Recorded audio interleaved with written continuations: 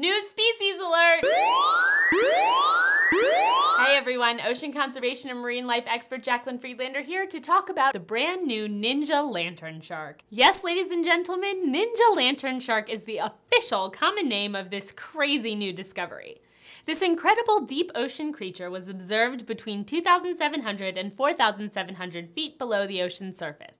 It's about one and a half feet long and gives off a slight glow, more faint than other species of lantern sharks, which scientists believe help it to blend in with its dark, inky surroundings. This makes it very sneaky and able to easily pounce on its prey, hence its name Ninja Lantern Shark. Personally, I think it looks like a variation of the cookie cutter shark.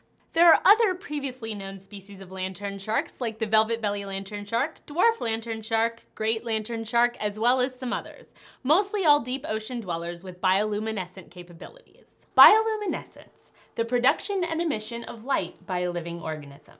Since this creature is so new to scientists, there are very few photographs available and more information about what it eats, its mating habits, lifespan, and other fun facts are still to be explored. If you want weekly ocean and conservation information, click subscribe. See you next Friends with Fins Friday. Thanks for watching.